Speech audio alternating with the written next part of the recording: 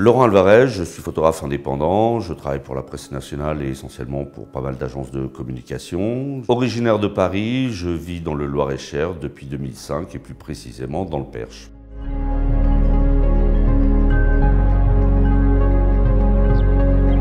Donc j'ai eu la chance d'aller chez Laurent Charbonnier pour faire ce portrait, qui est quand même un, grand cinéaste, réalisateur de films animaliers et également producteur.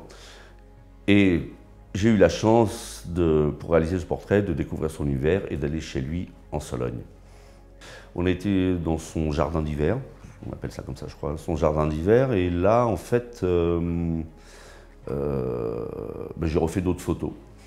Puis au final, ce que j'avais vu, ce que j'avais déjà réalisé, c'était pas terrible, je trouve, ça me plaisait pas. J'étais vraiment pas très content, satisfait de cette image-là. Et à un moment, il y a eu une petite éclaircie, et il observait des chevreuils euh, à travers sa fenêtre et il voulait aussi partager un peu euh, euh, son jardin, son espace, son lieu où il, vit, où il habite. Donc il a enfilé ses bottes, il a pris une paire de jumelles et moi en passant j'ai juste le temps d'attraper ma boîte à lumière et je l'ai suivi. Et on est arrivé devant sa marque, il aime beaucoup.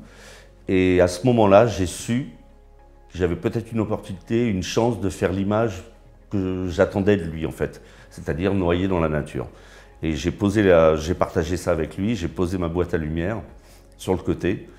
Euh, je lui ai demandé de se positionner pas trop loin de la mare. J'ai fait euh, trois, 4 clichés et, et j'en ai retenu qu'une, c'est celle-ci.